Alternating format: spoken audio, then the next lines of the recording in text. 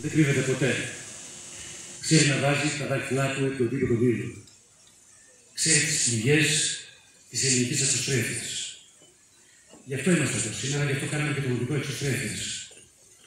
Γιατί μπορεί οι εξαγωγές να καλπάζουν, μπορεί ακόμη και το 2020 να πήγανε πάρα πολύ καλά,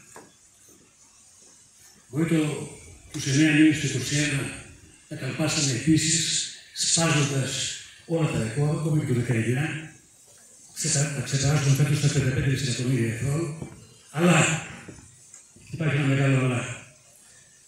Ο Ηλίας γνωρίζει την παθογένεια της εξουσίας.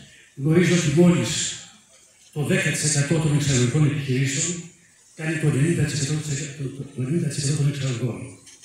Και το υπόλοιπο 10% των εξαγωγών το κάνουν οι υπόλοιπες επιχειρήσεις. Το υπόλοιπο 90%. Ξέρει επίσης τις μεγάλες περιφερειακές και ενδοπεριφερειακέ ανισότητες. Παραδείγματος χάρη, ξέρει ότι η Δυτική Μακεδονία είναι σχεδόν κάτω από το μισό της εκατό των εξαγωγών όλης της χώρας. Και η Πιερία εδώ είναι η τελευταία περιφερειακή ενότητα της Κεντρικής Μακεδονίας, η οποία θα πει είναι η δεύτερη σε όλη την Ελλάδα, η οποία ακόμη και πέρσι, το 2020, είχε πτώσει μόλις 0,6% όταν η Εθνική είχε 6% πτώση. Και η Πιερία με 150 εκατομμύρια μόλι εξαγωγέ, και τι κάνουν αυτές, δύο επιχειρήσεις μόνο κάνουν πάνω από το 50% των εξαγωγών στην Πιερία.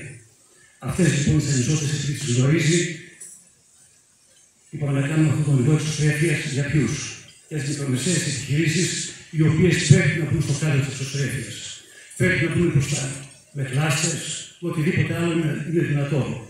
Ώστε να προλάβουν το, τρένο της εξωστρέφεια, όταν μάλιστα τώρα η εξωστρέφεια τι ζητάει, ζητάει πράσινη μετάβαση